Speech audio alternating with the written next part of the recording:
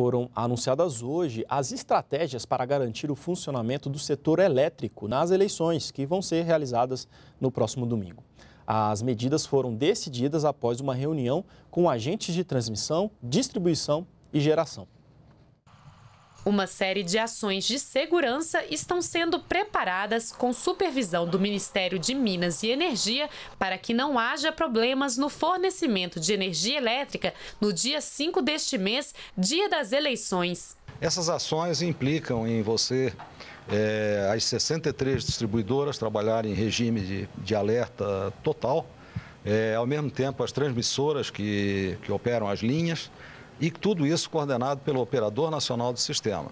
É, essas ações, elas são acompanhadas em nível do Tribunal Superior Eleitoral, um, um dirigente do TSE fica em contato permanente aqui em Brasília com o Tribunal Superior Eleitoral e depois a, a, nível estadual com os contatos com os tribunais regionais eleitorais, de forma que, em havendo qualquer é, situação não prevista, é que o atendimento seja o mais rápido possível.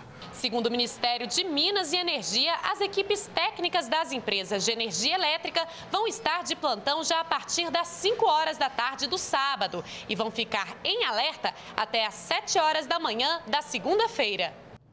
E segundo o Tribunal Superior Eleitoral, vão ser usadas mais de 530 mil urnas eletrônicas nas eleições deste domingo.